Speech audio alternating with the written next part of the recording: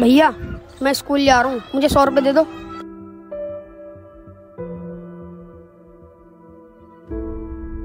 यार सचिन तू अपने भाई को डेली सौ रुपये देता है। तुझे पता भी है करता क्या है? छोटी उम्र है भाई ध्यान रख।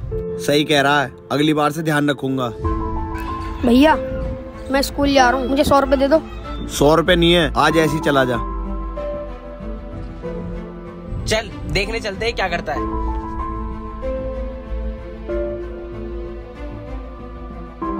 सॉरी भैया आज मेरे भाई ने मुझे पैसे नहीं दिए।